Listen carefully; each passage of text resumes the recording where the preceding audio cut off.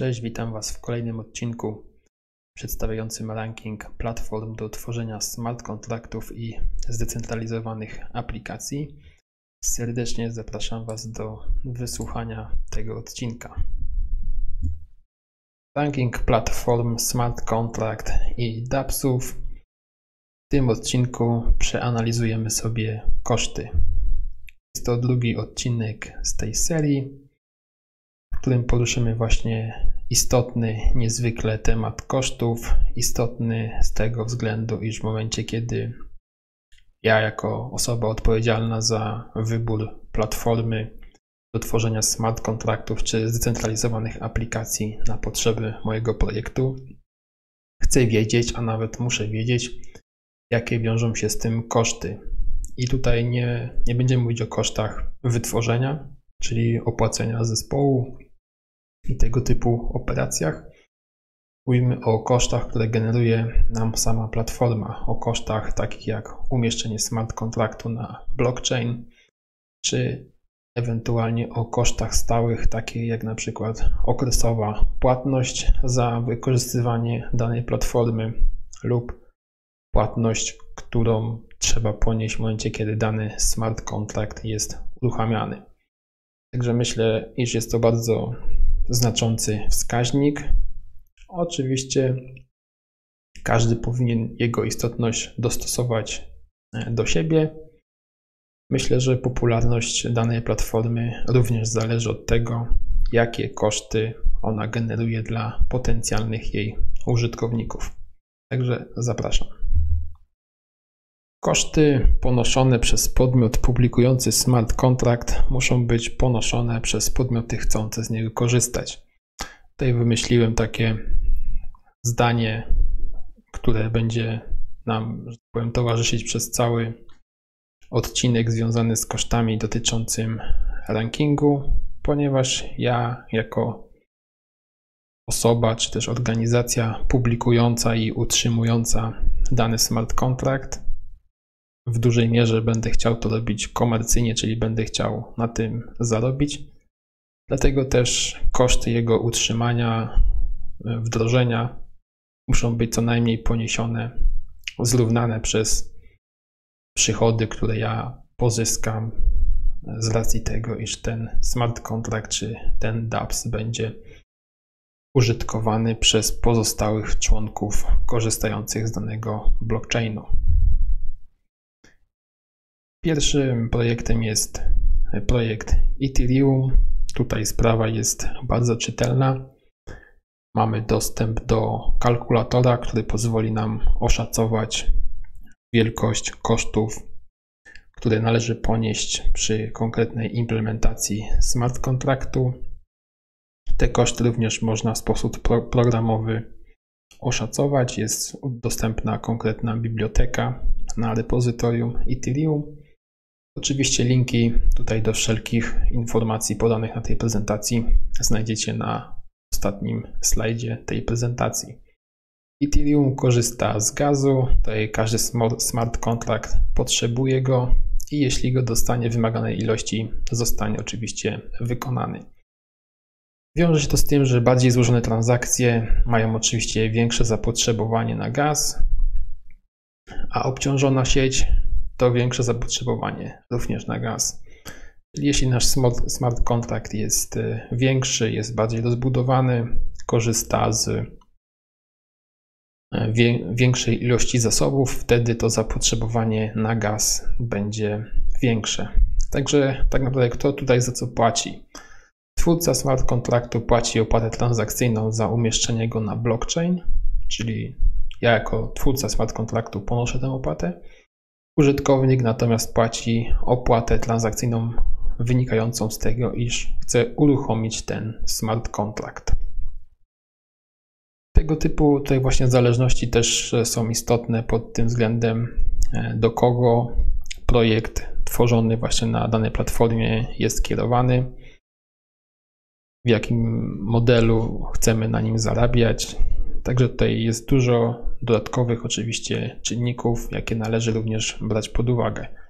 Niemniej jednak my patrząc i starając się wybrać dany projekt pod względem inwestycyjnym, powinniśmy mieć ogólny pogląd na to, jak te właśnie koszty rozkładają się e, przy danym projekcie i czy sposób ich rozłożenia będzie wpływał na zwiększenie adopcji i popularności danego projektu. Kolejny projekt EOS. Tutaj również e, dosyć jasna sytuacja. Mamy dostęp do kalkulatora, który link znajduje się tutaj na prezentacji. Płacimy tak naprawdę za trzy komponenty, czyli za wykorzystanie pamięci RAM, za obciążenie sieci oraz za wyliczenia i obciążenia wynikające z tych wyliczeń poniesione przez e, procesor. Tutaj oparte jest to o algorytm Bancor na wpływ ostateczny e, wartości kosztów ma, mają rozmiar transakcji, liczba użytkowników oraz liczba transakcji w danym smart kontrakcie, ponieważ dany smart kontrakt może oczywiście zawierać kilka transakcji. Tutaj twórca smart kontraktu płaci opłatę za działanie, użytkownik płaci opłatę transakcyjną, natomiast za uruchomienie tego smart kontraktu czy tej aplikacji na platformie blockchain. Cardano. Tutaj niestety na tę chwilę brak kalkulatora, co pewnie wynika z etapu, na jakim ten projekt obecnie się znajduje. Warto zwrócić uwagę, że opłaty transakcyjne są jedynym źródłem dochodu dla członków utrzymujących protokół. Wynika to właśnie z modelu uzyskiwania konsensusu, jakim jest Proof of Stake. Także tutaj również warto zwrócić uwagę przy projekcie, który będziemy sobie sami tam analizować, jaki właśnie mechanizm uzyskiwania konsensusu dany projekt implementuje. Oczywiście należy również rozumieć, jak poszczególne e, mechanizmy uzyskiwania tego konsensusu działają, e, jakie generują dla kogo oczywiście e, przychody. Płata tutaj za wytworzenie takiego smart kontraktu jest przedstawiona za pomocą prostego wzoru umieszczonego na slajdzie. Cardano oczywiście mamy dwie warstwy. Mamy Cardano Settlement Layer, transfer właśnie tokenów ADA oraz Cardano Computation Layer, smart contract. Tutaj ta tematyka trochę odbiega od tego odcinka. Umieściłem to z tego względu, iż na chwilę obecną mamy zaimplementowaną i dostępną na GitHubie pierwszą warstwę, czyli Cardano Settlement Layer.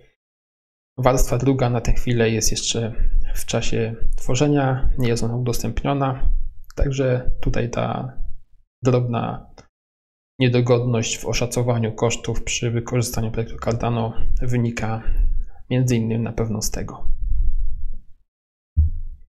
Kolejny projekt Tron, tutaj podobnie jak w dwóch pierwszych projektach bardzo dobra organizacja i przejrzystość w celu właśnie wyliczenia potencjalnych kosztów. Mamy dostępny benchmark, mamy tabelę z opłatami, mamy kalkulator online, mamy właśnie tabelę związaną z e, Energy, czyli z odpowiednikiem gazu, z platformy Ethereum. Podział smart contract tutaj oczywiście jest ze względu na rozmiar tego smart kontraktu i tak kształtują się opłaty związane z umieszczeniem danego smart kontraktu o danym rozmiarze na blockchainie. Tutaj mamy z, do czynienia z tak zwanym freezingiem, czyli z zamrożeniem środków o takiej wartości na potrzeby właśnie umieszczenia tego smart kontraktu na blockchainie. Płacimy tutaj, płacimy na koszty ostateczne ma wpływ właśnie rozmiar transakcji, moc jaka potrzebna jest do uruchomienia, Oczywiście im więcej mamy zamrożonych e, tokenów, to tym liczba darmowych transakcji uruchamianych w ramach smart kontraktu jest oczywiście większa. Także tutaj w celu wykonania dokładnych obliczeń mamy narzędzia, także wszystko jest oczywiście dobrze pod tym kątem zrobione. Kolejny projekt, projekt Neo. Na tę chwilę brak kalkulatora. Tak naprawdę Mamy tutaj jedynie informację, że smart contract również potrzebuje gazu do wdrożenia i uruchomienia go na blockchainie. Dla każdego smart kontraktu mamy 10 jednostek gaz, które są bezpłatne. Koszt wdrożenia smart kontraktu na blockchain to około 490 jednostek gaz, gdzie jedna jednostka gaz odpowiada jednemu dolarowi.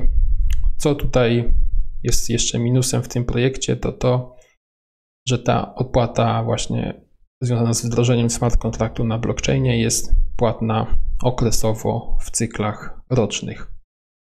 Tutaj też warto dodać, że duże zmiany w tym zakresie dla tej platformy Neo, która przez te tutaj omówione wcześniej właśnie e, czynniki wpływające na koszty będzie przechodziła duże zmiany.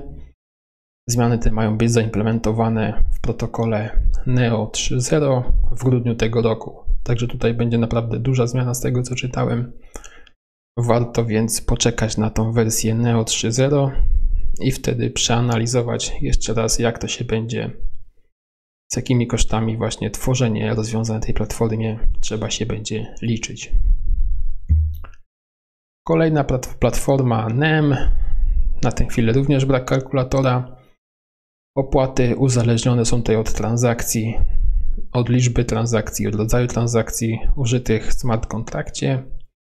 Opłaty są za uruchomienie smart kontraktu oraz y, takiego komponentu, który nazywa się na tej platformie Mosaic. Tym mozaikiem może być token, może to być oczywiście kolekcja e, cyfrowych zasobów, takich jak jakieś statusy odnośnie konkretnych asetów, udziały w asecie poszczególnych użytkowników. Tutaj mamy trochę do czynienia z innym paradygmatem. E, New Economy Model, także tutaj jest trochę to bardziej rozbudowane i te opłaty, wyliczanie tych opłat jest bardziej skomplikowane, co niestety nie niesie ze sobą dodatkowych narzędzi udostępnionych przez tą organizację do właśnie chociażby estymacji tych kosztów. Co ciekawe, infrastruktura NEM pozwala również na uruchamianie prywatnych blockchainów i tutaj w zależności od konfiguracji tego już na własnym środowisku, na własnej infrastrukturze te opłaty mogą być całkowicie zredukowane. Natomiast wiadomo, będą ponoszone koszty związane z utrzymaniem tej infrastruktury przez e, prywatne, komercyjne środowisko, czyli jeśli my w naszej organizacji chcemy użyć tego protokołu NEM, trzymamy go na własnych komputerach, na własnych serwerach, także my płacimy za utrzymanie tej infrastruktury. Natomiast możemy tak to skonfigurować, że ten nasz prywatny blockchain nie będzie generował żadnych kosztów operacyjnych wynikających właśnie z wdrażania i uruchamiania smart kontraktów na tej platformie. Kolejny projekt Tezos. Tutaj również niestety nie mamy kalkulatora. Jest informacja w dokumentacji, że zapisanie smart kontraktu na blockchainie kształtuje się w takich opłatach przedstawionych na slajdzie, gdzie 1 byte to jest jedna tysięczna teza. E, uruchamianie smart kontraktu szacowane jest na e, bezopłatowe, o ile oczywiście nie zmienia to rozmiaru tego smart kontraktu. Czyli jeśli mamy zaimplementowaną funkcjonalność, która nie wiąże się z, ze zmianą rozmiaru tego smart kontraktu, to wtedy takie jego uruchomienie nie generuje nam dodatkowych kosztów. I przejdźmy do naszego rankingu. Tutaj mamy pierwszy, w pierwszej tabeli oczywiście projekt, w drugiej dostępność kalkulatora w systemie zero-jedynkowym, czyli albo ten kalkulator jest, albo tego kalkulatora nie ma. Trzecia kolumna przejrzystość, czyli to, jak łatwo e, nam jest te koszty oszacować, wyliczyć. I oczywiście ranking. Tutaj jeszcze może parę słów komentarza odnośnie tej kolumny związanej z przejrzystością.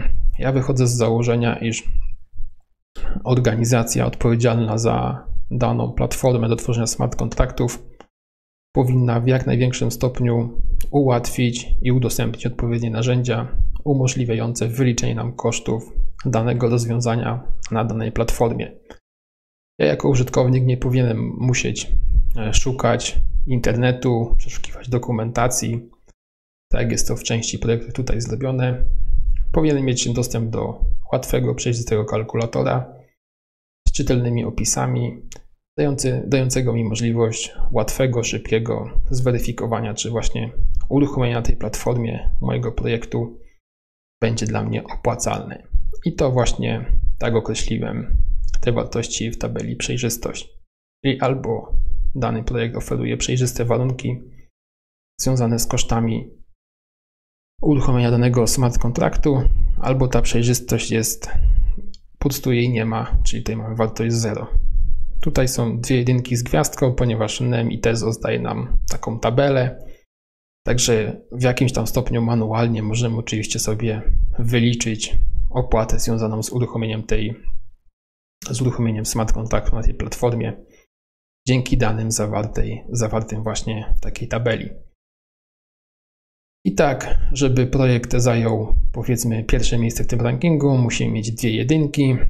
Tutaj mamy na pierwszej lokacie e, dosyć sprawdzone już projekty, czyli Ethereum, EOS i Tron. Co ciekawe, właśnie na tych platformach uruchamianych jest obecnie najwięcej smart kontraktów i dAppsów, co pewnie pośrednio również wynika z tego, iż łatwo oszacować, ile tak naprawdę to będzie nas kosztowało. E, drugie miejsce NEM Tezos, tutaj ze względu na e, tabelę umieszczoną w, w dokumentacji poszczególnych projektów. Neo tutaj również przyporządkowałem tak na takim miejscu drugim, ale bardzo blisko trzeciego z tego względu, że daję tutaj mu kredyt zaufania odnośnie wersji Neo 3.0 gdyż opisane tam rozwiązania na pewno przyczynią się do e, wyższego miejsca w tym rankingu. Cardano e, tym razem na trzecim miejscu, ale tak jak mówiłem wcześniej, uważam, że wynika to po prostu z tego, iż projekt jest na bardzo wczesnym etapie rozwoju i po prostu nie ma jeszcze odpowiednich narzędzi, które pozwalałyby te koszty oszacować. Oczywiście wszystkie tutaj podane przeze mnie informacje i potwierdzenie znajdziecie w źródłach. Tutaj przedstawiłem moją subiektywną opinię. Jednak starałem się być obiektywny dla każdego projektu, gdyż nie mam żadnego interesu w tym, że któryś z tych projektów będzie na pierwszym lub na ostatnim miejscu. Oczywiście zwracajcie uwagę na to, jak te koszty są generowane przez konkretne projekty przy wyborze swojej platformy inwestycyjnej, gdyż, jak widzimy po statystykach uruchamianych e, smart kontraktów i zdecentralizowanych aplikacji, ma to znaczenie. Tutaj na tym slajdzie podaję źródła, także osoby chętne mogą sobie zajrzeć i w razie potrzeby dokonać e, stosownych obliczeń dla własnych projektów. Dziękuję Wam za wysłuchanie tego odcinka. Zapraszam do kolejnych serii z tego cyklu. Jeszcze raz podkreślę, iż przedstawiony ranking tyczył się stricte kosztów. Na ogólny rozrachunek tych platform trzeba jeszcze poczekać, ponieważ przed nami jeszcze 8 serii w tym cyklu.